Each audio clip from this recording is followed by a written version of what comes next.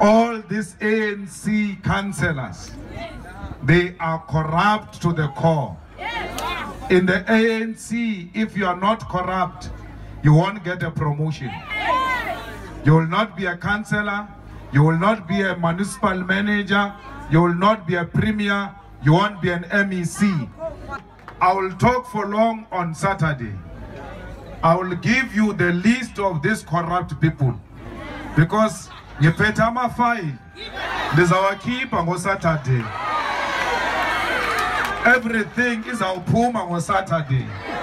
So you must never allow them going forward to come and lie to you. But hayi ANC kaMandela no. The ANC of Nelson Mandela does not steal from people the ANC of Mandela is not corrupt. The ANC of Mandela cared about people. Mandela went to prison for 27 years to liberate you, not to steal from you. So these ones who are here now, they steal. Abu Mabuyane.